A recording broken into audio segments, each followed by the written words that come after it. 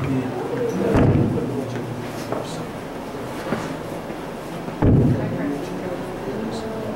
evening and welcome to worship as we gather together as brothers and sisters in Christ. This is our great opportunity that God has given us this evening in this place to come and get a foretaste of the feast to come. Get an opportunity to see what the kingdom of heaven will be like as we gather together as brothers and sisters in Christ, praising God and worshiping Him. So I invite you to join me as we open together our worship in a time of prayer. Uh, Heavenly Father, we give thanks for this opportunity. This is the day that you have made, and we are glad that you have given this to us. Lord, each new day is an opportunity to serve you, to grow closer to you, to become more like your Son, our Savior, Jesus the Christ.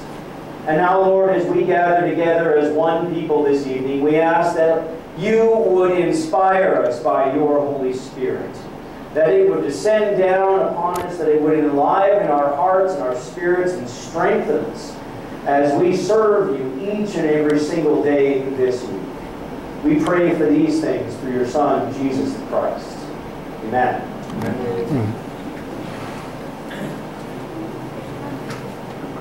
Amen. We invite you to stand and worship with us.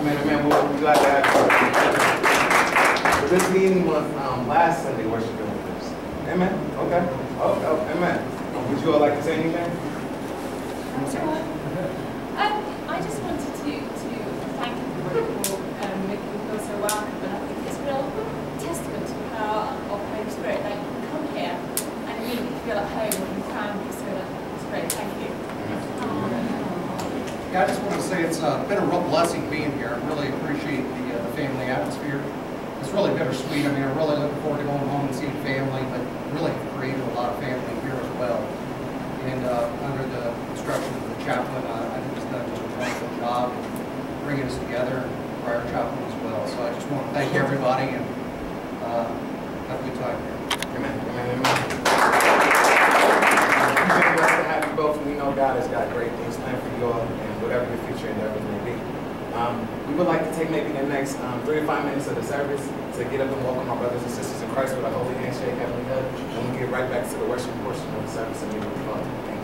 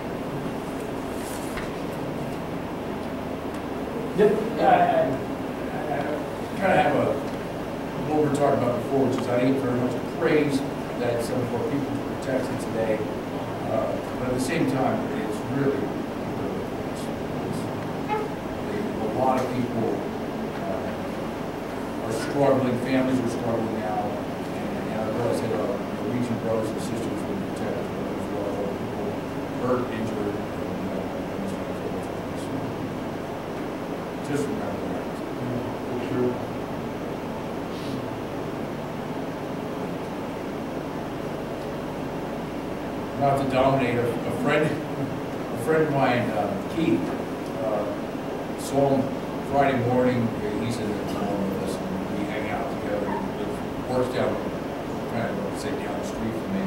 Uh, he's been over here for about eleven months, I believe, and, uh, he's having a tough morning, Friday morning, I didn't know what was going on, he didn't know what was going on, and then ended up, he got medevac now. Um, He's got a blood clot in his legs, he's out of Germany, so. You know, he's a, he's a young guy, about as young as I am. Um, But, you know, it, it is a concern, I know they have great doctors and things like that, but it's just, what a, what a rough time for him to be, all of a sudden, one day he's fine, the next day he's, out of back. And Hopefully, things will go well, Uh, I don't know whether that's going to happen. His name is Keith.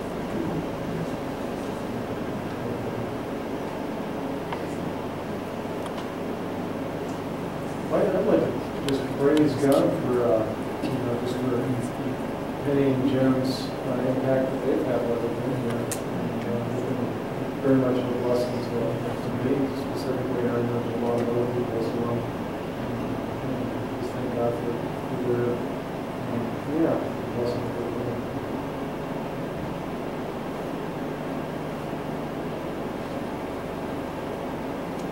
Um, I just want to pray for, um, I had an opportunity to go to Bagram uh, yesterday, um, spent the night, came back this morning, but while I was there, um, got to reunite with a lot of uh, good Christian brothers and sisters, and they actually had a praise and uh, song night last night at Enduring Faith, and so really got to enjoy just uh, absorbing some more song and, and praises and dance, that even they have uh, dance in mind.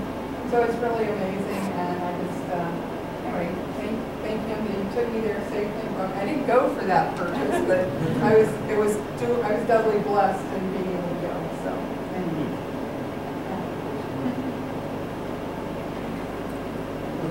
Pray for a friend, uh, Ramon, he works here in, um, um, at OTAB, and he lives in Puerto Rico, so his house, and he doesn't even know what's happening there.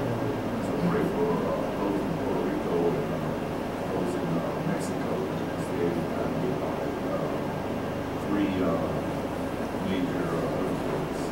So pray for them.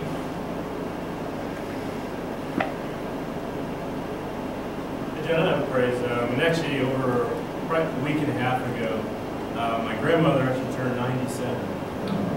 I didn't think about it, how with that men's talk, started talking to God in the office, and just, I have actually both my grandmothers. Uh, it's just a, you know, really think about what a blessing to have someone in your life that's lived that long, with that much history. She's a blessing God for her, and it's just, just a blessing that she's uh, still with us.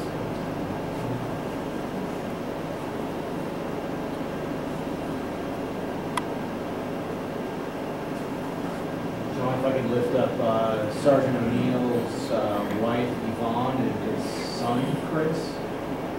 Um, They're, uh, they're- they're ill and uh, Yvonne, because she's had uh, kidney transplants and stuff, it's always difficult every time she gets it. So, uh, the the two of them up.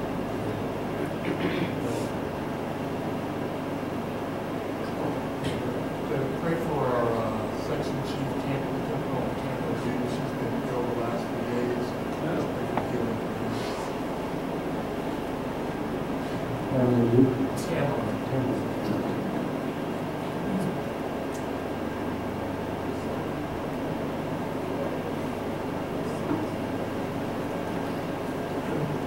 I'm going out of order now, I'm going back to praises. But, you know, I want to praise God for the work that uh, Padre Troy did here, uh, both in the chapel and in our community, and, and the work that uh, Padre Chris everyone else continues, but in particular, I'm talking about what they did outside of the chapel and this uh, Padre PT uh, that they do at the uh, gym over here. And and it, they're taking God's message and taking it outside of these four walls. And uh, I guess praise to God is it's really God's work. And, and today, it seems like the group is triple what it had been averaging over the past few weeks. And it's just amazing how it's growing, how people are encouraged, and, and how it uh, encourages the people of Witness to the community.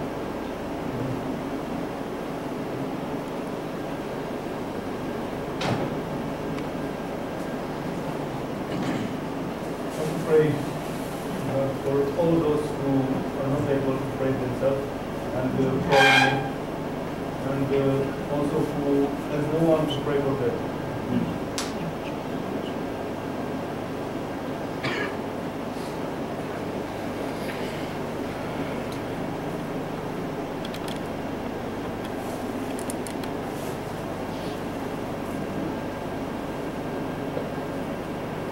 Go to the Lord in prayer.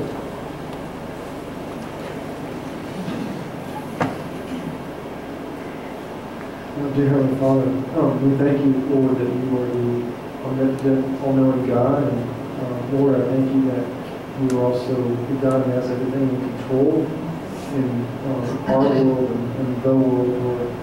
Lord, I thank you again that your your kingdom is an everlasting kingdom and will reign victoriously, um, Lord. Lord, I, I thank you for um, the specifics this last week, Lord, how you blessed us. Lord, and I thank you for um, our, our Danish colleagues who um, were, were spared the explosion this afternoon, um, or this morning. And um, Lord, I thank you for um, protection there. Lord, I, um, more than just the physical protection, Lord, I ask that you would um, use this experience to any of those folks uh, do not know you, um, that this experience would get them thinking about uh, eternal matters um, as they come close to meeting eternity. Um, so Lord, I, pray that your Spirit will be working even in their lives right now. And uh, Lord, I, I thank you for uh, just the blessing of having Jim and Petros while they've been here. Um, Lord, how they've uh, been so kind and uh, generous and invested their lives, and um, many who, uh, uh, even from uh, other countries, Lord. And Lord, um, I ask that you would uh, just uh, bless them as they go on. Um, I pray for uh, new work uh, for both of them as they start new jobs uh, pretty soon here. And I ask that you bless um, them and their labors there, Father. And I ask that you bless them in their new uh, spiritual families, Lord, that uh, they would also be blessings as they have been here to us. And uh, Lord, I thank you for the blessing that um, your family has been carrying us uh, last couple of days since she was back down in Bowden. And Lord, uh, what a joy it is to know that even after um, time of separation, that, uh, that there is a joyous uh, uh, reunion. And Lord, that we are blessed exceedingly greatly by brothers and sisters here. And, uh, a rich family it is uh, that we've inherited through you, Lord. And uh, Father, I also thank you for um, the ones who, who are ahead of us in age, more like uh, this grandmother here, 97 years old. I thank you for the way that she's lived such a long, God-fearing life, and a life that's been honoring to you. Lord, I thank you for um, blessing her with uh, longevity. And uh, Lord, I ask that those around would, um, would, uh, would notice again the righteousness that she's been living. and, and would model their lives after her she has modeled hers after you, Lord. Lord, I thank you for the work that Padre Troy and Chaplain Chris have um, done outside of the walls of the chapel here. And I ask that you continue to bless uh, Padre. And, uh, what a way to minister to um, those in our community. I ask that um, the light that they have, that um, that uh, they love will, will reap benefits. And I do pray for Padre Troy as he's uh, back home that um, you bless him and his time with his family. And uh, Lord, that would be just a, a time of great joy as well. And uh, Lord, I, I think of some of the, the deep prayer requests we have. when we think of, of uh, our, uh, the Afghans that we love and how they're experiencing such pain and suffering as is shown by this explosion today. Um, Lord, again, I ask your mercy that you would bring about peace and stability to this land. Lord, that those who um, would want to wreak violence and render violence would be ashamed. And uh, Lord, that they would understand that um, whatever cause they think that they're supporting is, um, is not worth it. Uh, and has no relation to the evil that they're inflicting on this land. Uh, God, I ask that there would be a miracle of your working um, here and, and that not only would uh, Afghans know your uh, temporal peace, but would know everlasting peace. And uh, Father, we, we think of um, Keith who's had a um, blood clot. I asked that he would heal him and um, that he would be restored to strength and uh, that you would also comfort him in, just the, the change of life that uh, this is, has led. Lord, I ask in your will that you would be able to return to, to work as well. Lord, I, I pray for Ramon and his family. Again, we don't know uh, what has happened to his, his house. Uh, he doesn't know. But uh, Lord, I ask that you provide everything that he needs, that his family needs. And uh, Lord, uh, we think not only him, but all the other victims in Puerto Rico and Mexico. Uh, again, that uh, your family would reach out and uh, the international community would reach out and uh, be generous in their help, Father. Lord, uh, we thank you for Sergeant O'Neill's ministry to us and what a, what a um, great man he is and what a, a character that he's exhibited and the character that he's developed, that you've developed in him through um, just through the challenges that he's faced, that the family has faced with this, uh, with uh, Yvonne's uh, history of kidney issues. Lord, right now I ask that you give him respite from that. You give his family respite. That uh, Yvonne and Chris would, would both be healed quickly, Lord, and restored to health. I ask that um, this uh, kidney that she's had transplanted a, while ago, that would work well. And um, Lord, that her whole body would be able to um, return uh, to 100% health. And Father, I, I pray also for uh, uh, this Colonel uh, Tamara, the section chief, Lord, that um, also you restore her and uh, that she would be able to get back to work as well and uh, you take away the illness. Uh, Lord, I also pray for uh, those who are not part of a body and who um, do not have um, anyone to pray for. I ask that you um, uh, work in their lives as well and be close to them and bring them to a knowledge of you. And again, Father, we thank you so much for all the ways that you have blessed us so richly. Um, the uh, greatest, the fact that we have a restored relationship with you through the blood of your Son, Jesus Christ. We pray that in the name of your Son. Uh, Amen.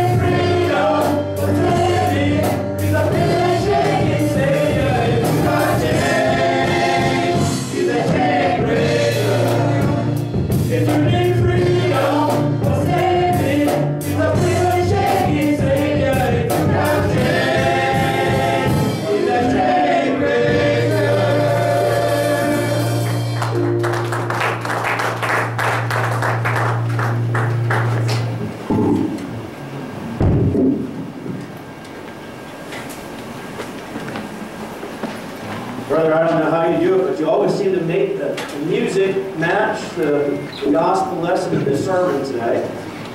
Because uh, today we're going to be talking about the chains that uh, God breaks, the chains uh, for those of us that don't even know that we are imprisoned, those of us that don't even know that we are in chains to certain things. Uh, tonight's gospel lesson comes from the gospel according to St. Matthew, the 19th chapter. For those of you using the blue Bibles, uh, page 976. The 19th chapter, starting at the 16th verse. Now a man came up to Jesus and asked, Teacher, what good thing must I do to get eternal life? Why do you ask me about what is good? Jesus replied. There is only one who is good. If you want to enter life, obey the commandments. Which ones? The man inquired. Jesus replied, Do not murder, do not commit adultery, do not steal, do not give false testimony, honor your father and mother, and love your neighbor as yourself. All these I have kept, the young man said. What do I still lack? Jesus answered, If you want to be perfect, go. Sell your possessions and give to the poor, and you will have treasure in heaven. Then come, follow me. When the young man heard this, he went away sad, because he had great wealth. Then Jesus said to his disciples, I tell you the truth. It is hard for a rich man to enter the kingdom of heaven. Again, I tell you, it is easier for a camel to go through the eye of a needle than for a rich man to enter the kingdom of God. When the disciples heard this, they were greatly astonished and asked, Who then can be saved? Jesus looked at them and said, With man, this is impossible. But with God, all things are possible. Peter answered him, We have left everything to follow you. What then will there be for us? Jesus said to them, I tell you the truth, at the renewal of all things, when the Son of Man sits on his glorious throne, and you who have followed me will also sit on twelve thrones, judging the twelve tribes of Israel. And everyone who has left houses or brothers or sister or father or mother or children or, or fields for my sake will receive a hundred times as much and will, inherit eternal life. But many who are first will be last, and many who are last will be first. Oh, sorry. This is the gospel of the Lord with a, a huge thud at the end of it, just in case you weren't paying attention. Woo! Grace, peace, and mercy are yours from our Lord and our Savior, Jesus the Christ. How many of you have ever taken a trip with kids? Right? You, you know, you might be driving along, or maybe your, your spouse is driving along and the kids are strapped in in the back seat, and you're doing that kind of family trip thing. In the United States, you might be driving long distance to, to, to get to one of the two Disney places, where then it's going to even be more painful you to be with the kids at that time. Or if you're in another country, you might be driving along to, to go visit a distant relative or something like that. But kids are great at this. They have one amazing characteristic. They're persistent, aren't they? Because you just pull out of the driveway and you're driving along down the street and it might be a 2,000 kilometer or a 2,000 mile drive, but two kilometers or two miles into the drive, they're asking, are we there yet? Are we there yet? How far now? How far now? How far now? Are we there yet? Are we there yet? And invariably, the, the, the two older people, not necessarily more mature, but the two older people in the front are going to start to get aggravated with that, right? I'm one of those two older people that isn't necessarily more mature. And so I'm, I'm looking back and, and I'm like, we're not there yet. We've got a long way to go. And then another two miles down the road, are we there yet? And then another two miles down the road, are we there yet? Constantly asking, are we there yet? Constantly persistent in that question, wanting to know where we are on this progress, on this road towards the trip. Now, what we have in tonight's gospel lesson is an interesting juxtaposition. Because immediately before tonight's gospel reading is the time when people are bringing to Jesus the little children, wanting them to be blessed by Jesus. And the disciples are wanting to keep the kids away. They see the kids as being cumbersome, as those that are probably all snotty and everything else like that, and always just climbing over Jesus. And so they want to keep this wonderful Messiah off in a distance, away from the snotty climbing kids, who are extraordinarily persistent in asking these questions, probably. But Jesus wants the, the, the children